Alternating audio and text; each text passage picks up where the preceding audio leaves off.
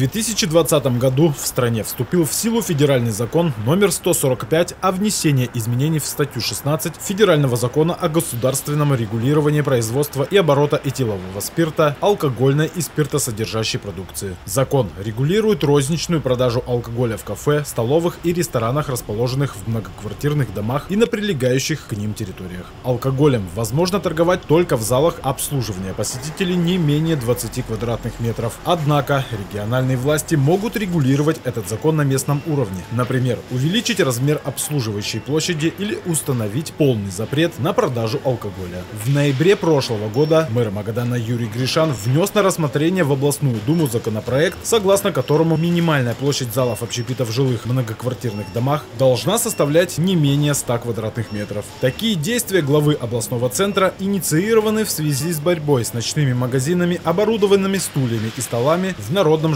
жаргоне наливайками. 14 января этого года правительство Магаданской области опубликовало законопроект, запрещающий реализацию алкогольной продукции в кафе и розничных торговых точках, расположенных в многоквартирных домах. Данная мера уже затронет не только наливайки, но и большую часть продуктовых магазинов города. По словам опрошенных предпринимателей, принятие данного законопроекта повлечет экономические и кадровые убытки. Оборот алкоголя не спадет, а перетечет в другое русло, например, в уже действующую ночную доставку. Сегодня, ограничивая один канал, мы перераспределяем поток продажи алкоголя в другие каналы. То есть мы не достигаем самой главной цели – ограничения продажи алкоголя. Поэтому, на мой взгляд, данный законопроект не позволит ограничить продажу алкоголя, а исключительно перераспределит канал продажи.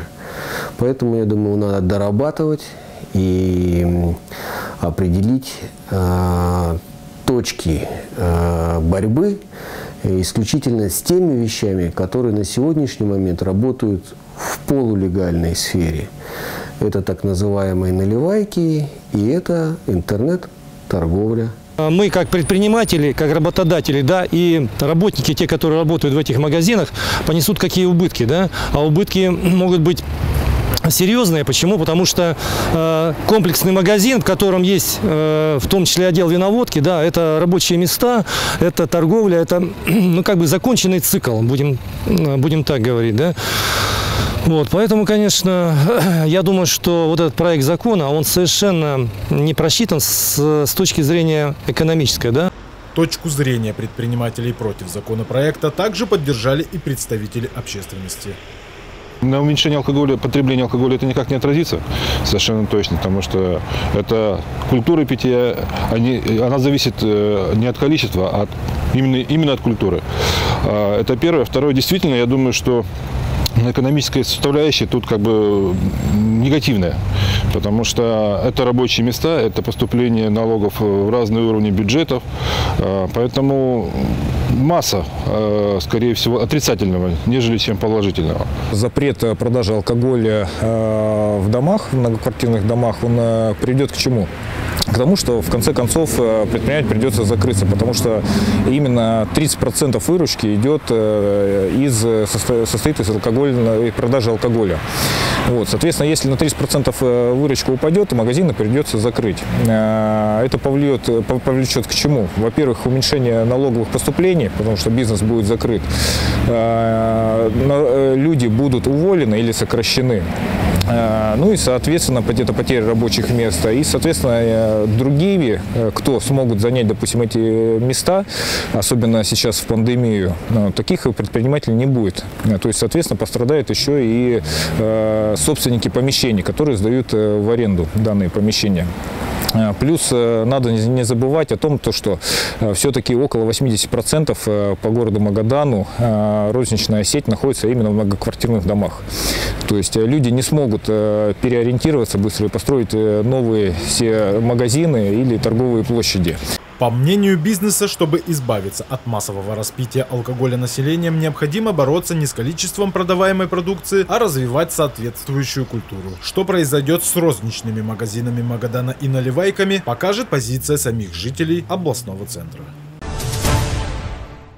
Резкие перепады температуры обеспокоили многих жителей Магадана. Чтобы колымчане не замерзли, ежедневно вырабатывает тепло Магаданская ТЭЦ, снабжая им многоквартирные дома и организации города. По словам энергетиков, предприятие оснащено всем необходимым и работает в штатном режиме. Из года в год Магаданская ТЭЦ по плану получает около 200 тысяч тонн угля. В этом году завезли 250 тысяч тонн.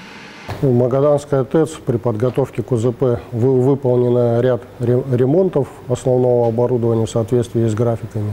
Ремонты выполнены в полном объеме.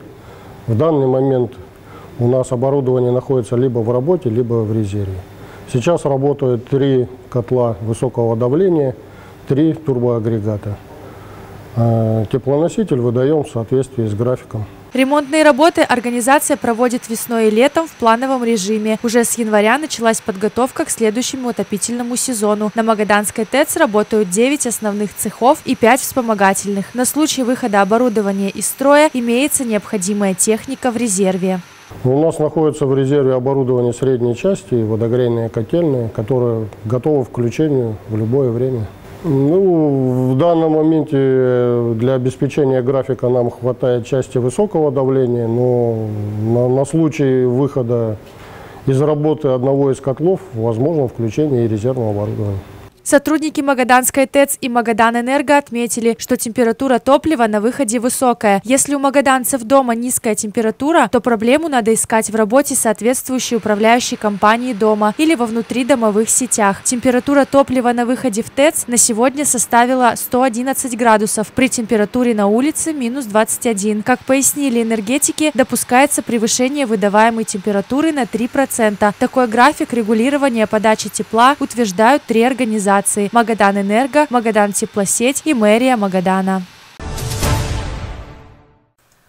29 единиц техники и 51 рабочий для ручной расчистки трудятся сегодня на улицах Магадана. За последние дни погода в городе буйствовала. Был сильный ветер, он разнес снег, который мешает пешеходам. Сотрудники комбината зеленого хозяйства убирают лестницы, тротуары, площади и скверы. Сложности у специалистов появляются из-за припаркованного транспорта.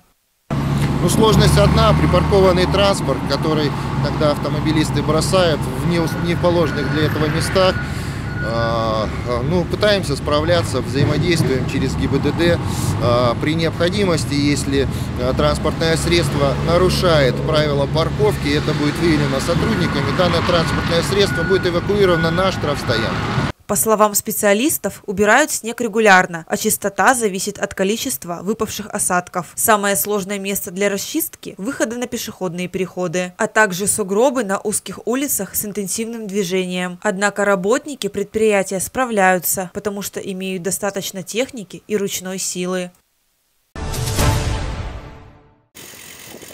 Новый остановочный павильон устанавливают в микрорайоне Моргородок. Над одной такой конструкцией рабочие трудятся около пяти дней. Собирают каркас, устанавливают стекла, ставят скамейки и урны. Для того, чтобы привести материал, используют специальную технику. Всего специалисты планируют поставить 10 таких объектов в разных частях Магадана. Уже установлено на улице Ленина, она в центре э, установлена. Еще планируется установить здесь, на Моргородке, замена будет остановок еще одна.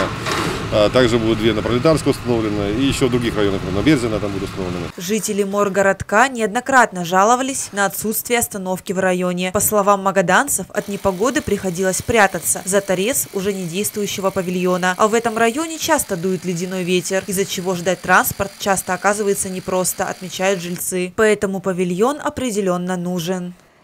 Да ну как справлялись. Посадка это, это посадка, а то, что когда сильный ветер, стоять негде. Вечно прятались вот здесь вот за ларек. Ну, слава богу, что додумались поставить. Нет, установка. Претензий нет. Конечно, довольны. Хоть и мы уже думали, хоть такая была бы, да хоть где-то укрыться. И сейчас поставят, будем укрываться от снега, от дождя, от ветра. Новые павильоны приобрели за счет средств городского бюджета в рамках реализации целевой программы «Совершенствование транспортного обслуживания населения». В 2021-2025 годах планируют приобрести и установить еще 18 конструкций.